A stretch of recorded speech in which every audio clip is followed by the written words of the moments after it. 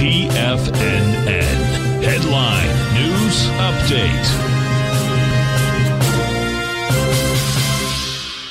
Ron Basil Chapman for this Tiger Financial News Network. 11 a.m. market update on this 18th Tuesday, 18th of uh, January. The volatility index is up 3.12 uh, at 22.31. If throughout the day any uh, market rally starts to fade, you will start to see this. Uh, 2230 level turn turn into 2210 22 key support, and you'll see it start to push into 2245, 2255. That makes the next hour and a half really important because if there is some kind of a relief, relief rally attempt, it needs to hold very, very well with the Dow, which now is at a minus 530, 35,380 near the lows of the Dow, 35,324, I guess 50 points off the low.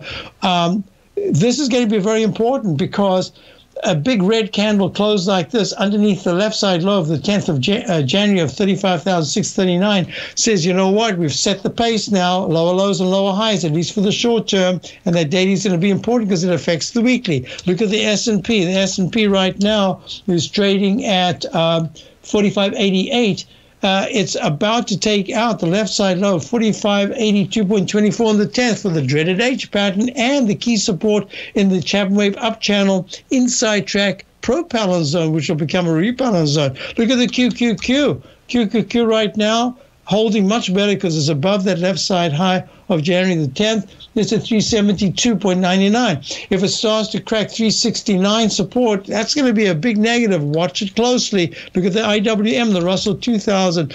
Uh, it was trying to rally. Now it looks very ugly because it's going towards the low that was made earlier in December uh, in the 210 and 208 area. It's at 210.04 not good because of the rectangle formation for months and months. The uh, the 207.21 low is held.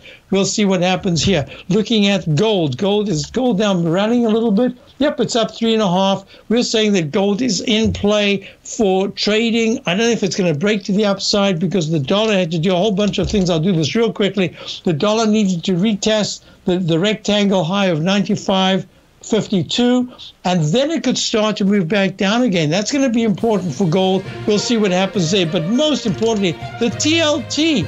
Uh, the, this is bonds. The iShares 20 year is way down at 140, and that's getting the yield really skyrocket.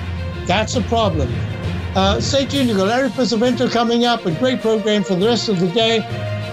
I'll be back tomorrow. Check out my, my daily newsletter and uh, stay tuned. You don't want to miss the programs here.